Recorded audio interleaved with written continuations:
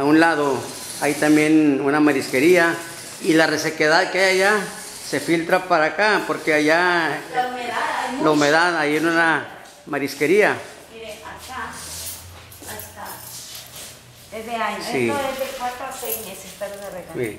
Aquí, por ejemplo, obras públicas, debería de llamar la atención al de la marisquería, a Don Cruz, ¿verdad? Ah, no, pues Villarreal. Don Cruz Villarreal, que pues ahí debe de poner Sí, algo en. Sus refrigeradores, que pues hay una, eh, hay agua, ¿verdad? Que se filtra Sí. a este domicilio. Ahí está, miren, aquí estamos viendo. Aquí estamos viendo que se filtra lo que es la humedad de allá, porque él tiene refrigeradores. Sí. Él es una marisquería.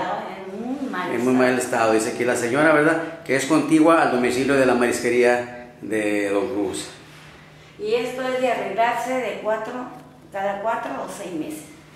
Deben de darle mantenimiento. No, no se puede. Sí. Es dinero. ¿Cómo se llama aquí el domicilio?